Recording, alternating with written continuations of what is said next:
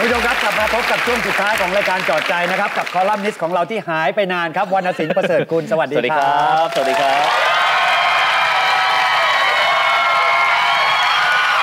เออใจเย็น นี่นี่เขาเราไม่จ้าเจงอหน้ามาเยอะขนาดนี้เลยสมัยนี้เขาไม่เจอแกนานไงอ๋อครับพี่กรีดคือใครวะใครวะเออ มันเป็นใครนะฮะ อ่าที่หายไปนานเพราะว่าเขาเดินทางเยอะ ครับผม วันนี้มีเรื่องอะไรมาฝากครับ คือเป็นหนึ่งในเรื่องแรงบันดาลใจที่ได้มาจากคลิปวิดีโอคลิปหนึ่งนะฮะแล้วอยากมาขยายต่อน่าจะ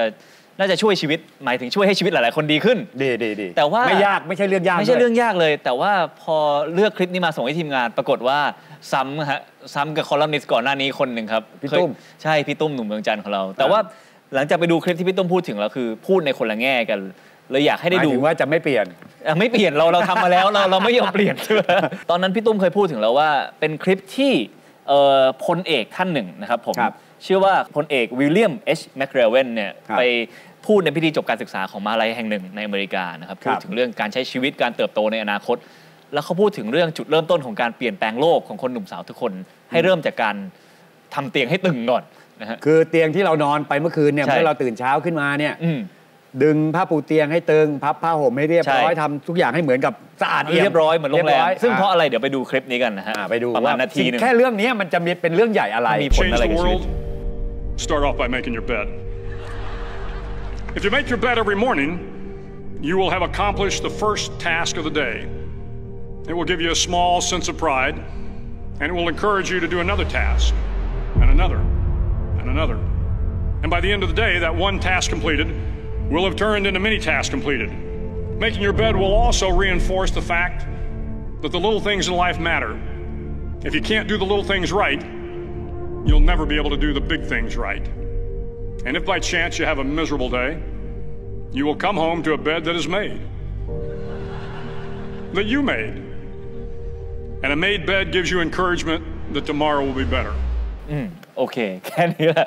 นี่เป็นแค่ตัวอย่างเฉยๆเอ่อซึ่งเราอาจจะไม่ได้พูดเรื่องนี้โดยตรงนะฮะจ้ะคือผมเองรู้สึกว่าสิ่งที่เราทำเล็กๆ ในชีวิตเนี่ยหลาย ๆ อย่างมันสามารถขยายความเป็นสิ่งที่ใหญ่กว่านั้นได้ครับนะครับแล้วก็ปัจจุบันเห็นเราเห็นผมเองเนี่ยมีโอกาสได้ไปพูดตามที่ต่างๆ เยอะสิ่งหนึ่งซึ่งผู้คนเหมือนจะขาดกันมาก คือไฟไฟในการทำงานไฟในแรงขับเคลื่อน แรงขับเคลื่อนในการอยากทำอะไรแบบ รู้สึมันกเหมือนเดินตามสายพานไปเรื่อยๆ ไหลไป ดูอืมไม่มีแรงผลักอะไร คือผมก็เลยกลับมาสำรวจว่า ผมมีเตียงตึงของผมไหม ผมมีอะไรไหมที่มันปลุกที่ไฟมันของผมเป็นฟืนใส่เข้าไปตลอดเวลาแล้วมันเป็นสิ่งธรรมดาธรรมดาที่ทำอยู่ทุกวันนี้เหรอทำอยู่ตลอดเวลานะฮะแล้วเป็นสิ่งเล็กๆ ที่คิดว่าหลายๆคนก็คงทำตามได้ จริงเหรอซึ่ง อันนี้เอาตัวคุณเลยนะจากใช่ใช่คุณตัวเลยผมเอง แล้วก็ผมรู้สึกว่าย่อยมาคือจริงๆมันมีหลายข้อมากแต่ย่อยมา 3 ข้อ ข้อแรกคือทุกคืนประมาณชั่วโมงครึ่งหรือ 2 ชั่วโมง ก่อนนอน ผมต้องเสพอะไรสักอย่าง ก่อนนอนก่อนใช่ไหมนอนฮะเออไม่ดูซีรีส์ก็ดูหนังไม่ดูหนังก็อ่านหนังสือไม่อ่านหนังสือก็เล่นเกมไม่เล่นเกมก็ทำอะไรก็สักอย่างเหมือนที่คนธรรมดาทั่วไปใช่ แต่ว่าผมค้นพบว่าการดูด้วยอีกอีก mindset อีกความคิดหนึ่งมันเปลี่ยนเปลี่ยนสิ่งที่มันมีผลกระทบต่อเราไปสิ้นเชิง คือเห็นคนทำสิ่งนี้ดูคลิปนี้เฮ้ยอยากทำว่ะ เห็นประเทศนี้เฮ้ยอยากไปว่ะเห็นอ่านหนังสือเรื่องนี้เอ้ยสนใจอยากยังไงต่อแล้วแบบการเสพพวกเนี้ยเสพข้อมูลเข้าไปเรื่อยๆทุกคืนนะฮะ มันปั่นให้เราแบบตื่นเช้ามาเรามีแบบสิ่งที่อยากทำโผล่ขึ้นมาแทบทุกเช้าเลย ผมยกตัวอย่างเช่น ผมดูซีรีส์เรื่องนาโคสซึ่งเป็นเกี่ยวกับยาเสพติด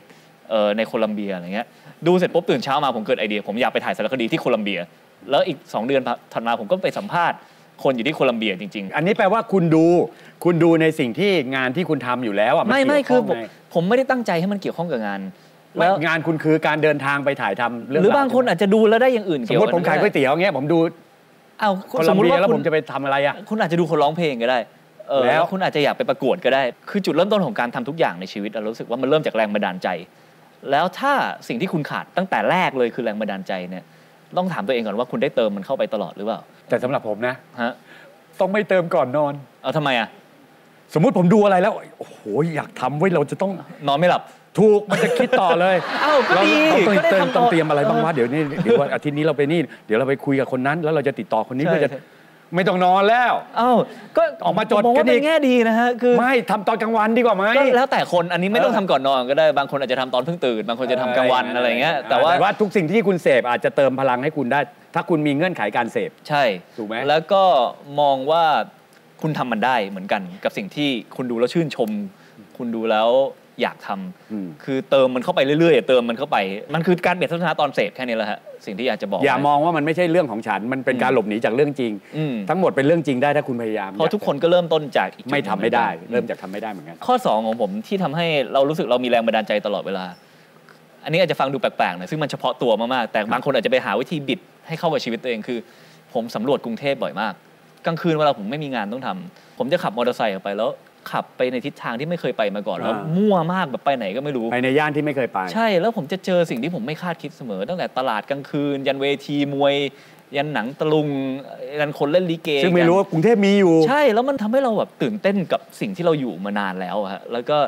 มันทำให้เราค้นพบว่าใกล้ ๆ ตัวมันยังมีอะไรน่าค้นหาอีกเยอะ แล้ววิธีที่สิงห์ทำก็คือสมมติจากจุดกอไปจุดขอคุณคุณสมมตินี่ที่ทำงานนี่บ้านอืมคุณก็ขับแต่ทางนี้แหละ อืม แต่ถ้าวันนั้นสมมติคุณไม่รีบอะไรเลยจริง ๆ นะ คุณไปนู้นคุณลองไปทางอื่นดูาแล้วคุณก็จะรู้ว่าเฮ้ยเดี๋ยวต้องเลี้ยวขวาหรือเลี้ยวซ้ายวะแล้วที่สำเฮ้ยคัญเดี๋ยวต้องไปยังไงวะมันอะไรได้เงี้ยออมักนจะจากคิดชีวิตตัวเองอะมันได้ออกจากปัญหาของตัวเอง มันได้ครับไปเห็นชีวิตคนอื่นจริงๆนะฮะทำสิ่งที่ไม่เคยทำ ใช่ ไปในที่ไม่เคยไป ครับทั้งหมดระบบปฏิบัติการต่างๆ จะทำงานหมด ระบบป้องกันตัว วิธีคิดอืม ความปลอดภัยสมองจะทำงาน ที่สำคัญคือรู้สึกสนุก อ่าสนุกตื่นเต้นสนุก ตื่เต้นอืมแล้วมันไม่จำเป็นต้องลงทุนต้องอะไรมากมายเลย ครับหรือสิ่งอีกสิ่งหนึ่งที่ผมทำเกี่ยวกับกรุงเทพบ่อยๆ คือผมจะไปเปิดโรงแรมนอนในกรุงเทพโรงแรมถูกๆก็ได้ 300 บาท 400 บาทอะไรเงี้ยแต่ไปนอนในย่านที่ไม่เคยนอนมาก่อน ที่ไม่เคยอยู่มาก่อน ใช่อย่างเช่นแบบเออเยาวราชอย่างเงี้ยเราไปกินข้าวบ่อย แต่เราไม่เคยไปนอนที่นั่นเราก็ไปเปิดโรงแรมนอนถูกมากเลย แล้วก็ กลางคืนเดินเดินหาอะไรดู เออ มันก็ได้เห็นอะไรอีกแบบเหมือนเราย้ายบ้านในกรุงเทพอีกทีหนึ่งอะไรฮะหรือแบบย่านอย่างวัดอรุณก็ดีท่าประจันทร์ท่าพระอาทิตย์เงี้ยพอไปนอนตรงนู้นเหมือนฝรั่งปุ๊บก็ได้มองเมืองไทยจากมุมมองนักท่องเที่ยวจริงๆเนี่ยฮะซึ่ง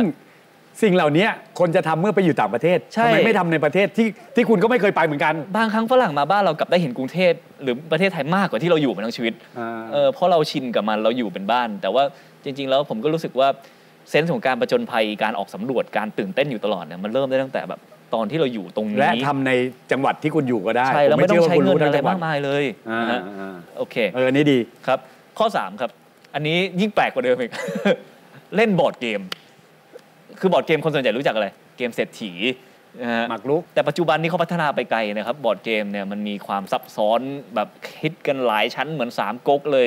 แล้วก็เล่นกันที 3 ชั่วโมง 4 ชั่วโมงกว่าจะจบ 1 ตาอะไรอย่างเงี้ยนะฮะโอ้โหบางเกมก็ต้อง expand แบบขยายอาณานิคมในอวกาศ บางเกมอันนี้เล่นในโซเชียลใช่ไหมไม่ไม่เล่นเล่นเป็นกระดานจริงๆเป็นกระดานจริงๆอย่างเงี้ยเหรอ low-tech เลยไม่มีต้องใช้ไฟฟ้าเลยเลย มันมีขายที่ไหน เดี๋ยวนี้มันมีขายร้านบอร์ดเกมในเน็ตเยอะฮะแล้วก็มีบอร์ดเกมคาเฟ่เกิดขึ้นเยอะ คนไปเจอกันเพื่อเล่นบอร์ดเกมเหล่านี้นัดกันโดยเฉพาะ คืออย่างแรกเลยที่ชัดเจนนี่เป็นสิ่งที่ใช้ความคิดเยอะมากเออมันเหมือนคุณต้องวางแผนการรบวางแผนบริหารอ่าประเทศตัวเองฮะ แล้วสองคือเพื่อนสนิทปัจจุบันผมเนี่ยได้จากวงบอร์ดเกมหมดเลยเออเพราะว่ามันมักจะดึงคนที่ enjoy การใช้ความคิดมาอยู่รวมกันอ่าแล้วคนเหล่านั้นเนี่ยเวลามันรวมกันมันอาจจะเกิด project ใหม่ ใช่ได้ซึ่งเรามารวมกันเราสนุก แต่ว่าเรามันมี energy ของคนที่แบบของคนที่ชอบสร้างสิ่งต่าง ๆ เข้าด้วยกันนะฮะแล้วเวลาคุณแบบอยู่กับคนมีไฟ คุณจะมีไฟไปด้วยโดยอัตโนมัติ คือบางทีมันไม่อาจจะต้องเป็นการเล่นบอร์ดเกมก็ได้ แต่ว่าหาข้ออ้างให้เราได้ไปอยู่ท่ามกลางคนที่มีพลังงานเชิงบวกกับเรา อยู่ตลอดเวลาโคเข้าใจแล้วอย่างเงี้ยครับผมอ่าซึ่งอาจถ้าจะไม่ใช่เฉพาะบอร์ดเกมอืมคุณอยู่ในสังคมไหนคุณก็จะเป็นคนแบบนั้นแหละใช่ใช่ใช่ไหมถ้าบ้านผมถูกล้อมด้วยยาเสพติดผมก็เสร็จแน่หรืออยู่กับคนลิษยาเยอะๆสักพักเราก็ต้องไปแข่งเกมวันๆก็แต่ลิษยาอยู่อย่างนั้นแหละอะไรใช่เงี้ยฮะอ่าแล้วบางคนแบบ เรารู้สึกว่าเราเก่งแล้ว เราไปเล่นบอร์ดเกม เราแพ้มันยับยับเยินเลยเป็นต้นเอาทำให้เราได้ถ่อมตัวแล้ว แล้วสองคือเราได้ไปเจอคนที่เขาทำงานเก่งกว่าเราเขาเก่งกว่าเราในหลายๆด้าน มันทำให้เรามีเป้าหมายที่เราอยากจะไปต่อนะฮะอยากเดี๋ยวจะนะพัฒอันนานี้ตัวเอความงที่ผมไม่ค่อยได้ไปท่องเที่ยวมั้งอืมมันมีเยอะเหรอในกรุงเทพในต่างจังหวัดมีไหมคาเฟ่อะไรของคุณมีเนี่ยมีมีต่างจังหวัดผมยังไม่เคยสำรวจ แต่ว่าในกรุงเทพก็มีอยู่ประมาณ 10 กว่าที่แล้วนะฮะที่เห็นมา เข้าไปจะเห็นคนเล่นเกมกระดานกันเต็ม ใช่เลยเออแล้วก็หลากหลายกำลังเป็นชนิดเทรนด์ที่กำลังมาในตอนนี้ แล้วก็แต่ก่อนอาจจะดูเนิร์ดเดี๋ยวนี้มันดูดู cool แล้วนะฮะ ดูเจ๋งแล้วอะไรเริ่มมีความ cool เกิดขึ้น นั่นก็คือสิ่งที่คนมักจะอยากให้ผมพูดถึงคือเรื่องการเติมไฟในตัวเอง แล้วผมว่าอันนี้ชัดเจน 3 ข้อเลยมันก็เริ่มด้วยจากความง่าย ๆ ก่อน แล้วก็อีกข้อหนึ่งที่คนถามเยอะๆ แล้วเราก็รู้สึกว่าเราก็ไม่รู้จะตอบไงเหมือนกัน แต่ว่าจะตอบเท่าที่ตอบได้เลยกันคือทำยังไงให้มีความสุขเป็นคำถามที่ยากมาก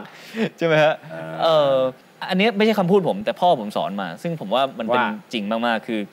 อย่าเรียกว่าความสุขเลยเรียกว่าการเติมเต็มชีวิต มันมี 3 ระดับด้วยกันครับหนึ่งคือเติมเต็มตนเองนะครับ คือรู้จักตัวเองครับเต็มที่ซื่อสัตย์กับตัวเองเข้าใจตัวเองสองคือเติมเต็มผ่านผู้อื่น มีความรัก มีความสัมพันธ์ มีเพื่อนมิตร มีสหาย และสามคือเติมเต็มผ่านจักรวาล คือเชื่อมโยงตัวเองกับโลกกับสิ่งที่ยิ่งใหญ่กว่า กับอะไรที่ไม่ใช่แค่สิ่งที่อยู่ตรงหน้า แล้วพอพอสามระดับนี้ได้รับการเติมเต็มเหมือนกัน มันก็นำมาซึ่งความเติมเต็มในชีวิต นี่ครอบคลุมทุกอย่างของชีวิตเลยนะที่พ่อบอกใช่ซึ่งผมเองก็ยังไปไม่ถึงจุดนั้น แต่พ่อว่ามาอย่างนี้มันนะครับใช่หมดเลย แค่คุณนึกถึงดินฟ้าอากาศ คุครัณบคุณกำลังเชื่อมอยู่กับอะไรบางอย่างอะครับผมคุณเข้าใจว่าเราเป็นแค่เม็ดเล็ก ๆ ในมหาจักรวาลที่ยิ่งใหญ่ก็ แปลว่าเราไม่ไม่เหลิงแล้วเราเราอืม เราเข้าใจ แล้วเราก็อยู่บนโลกแค่ช่วงเวลาจิตเดียว อืม เพราะฉะนั้นเราไม่ได้ยิ่งใหญ่มหัศจรรย์อะไรใช่ครับผม ถ้าเราเข้าใจจริงตัวเองผู้อื่นและโลกครับและโลก ครับผม นี่คือเรื่องราวดีๆ จากน้องวรรณสิงห์นะครับ หวังว่าจะมาบ่อยๆ มาเอาเรื่องดีๆ มาฝากกันอีกนะครับ ครับผม ขอบคุณน้องสิงห์มากขอบคคุณรัมากครับบครับ ติดตามใหม่สัปดาห์หน้าในรายการจอดใจนะครับ วันนี้ลาไปก่อนสวัสดีครับ ครับ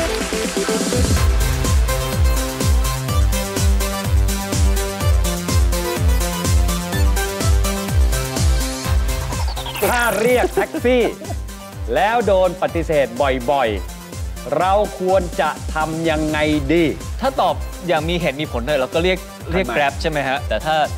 เราจะงัดกับแท็กซี่จริง ๆ เนี่ยเออเราผมว่าใช้ลูกให้เขาสงสารเราน่าจะดีสุดนะฮะพี่ครับผมปวดท้องจะตายอยู่แล้วครับคืออะไรคุณเคยทำไหมแบบนี้ ยังไม่เคยผคือมเคยเชื่อว่า ถ้าเขาไม่ไปยังไงก็ไม่ไปว่ะ ไม่รู้เคยโดนปฏิเสธสิบกว่าคันนะเออแต่ส่วนใหญ่เคยลองไหมล่ะแบบ พี่ไปแล้วพี่ผมไม่ไหวแล้ว เออเดี๋ยวเดี๋ยววันหลังจะลองอันนี้ข้อเสนอนะลองลองเล่นมุกขาให้ยังไม่ให้คยเขาลองสงสารดูอาจจะอาจจะได้ก็ได้นะแต่ว่าหน้าตาเรามันก็ไม่น่าสงสารเท่าไหร่ป่ะพี่เป็นพี่ขับแท็กซี่เห็นหน้าผมแบบไม่ไหวแล้วพี่พี่จะรับปะโอ้ยถ้าพี่กับไม่คิดนานเลยไม่ดิ「